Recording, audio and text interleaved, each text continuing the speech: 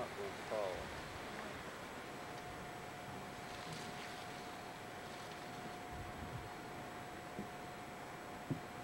You come up here all the time to photo shoot?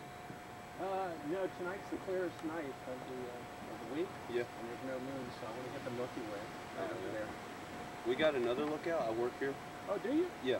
Oh, And, I was uh, trying to get the Milky Way, but I know they close at uh, 10. 10. So Yeah. I gotta leave. I gotta leave here probably around 9:15. Well, um, Get out by- I was going to tell you the other, you know, the lo- overlook where all everybody parks their cars.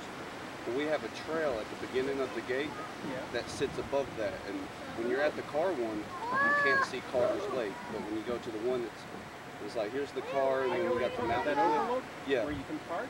Yeah. I, I've done that. There's just so many cars come over Yep. there, and they ruin my picture. Exactly. So we got one that sits above that where you won't see the cars because the road's down here block Really? the trees. Yeah. Oh.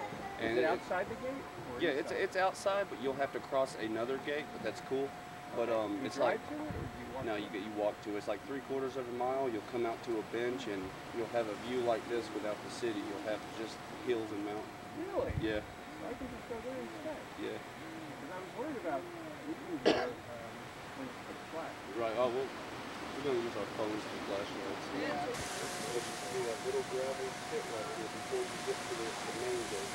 And you park right here, walk up to it. I think it's close to the gate. It's, it's already.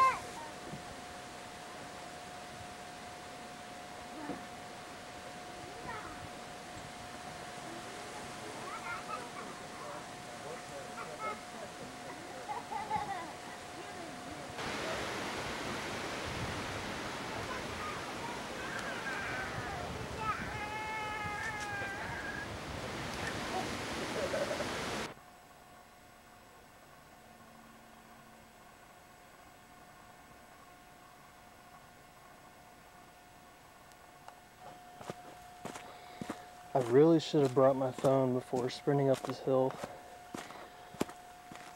Oh well.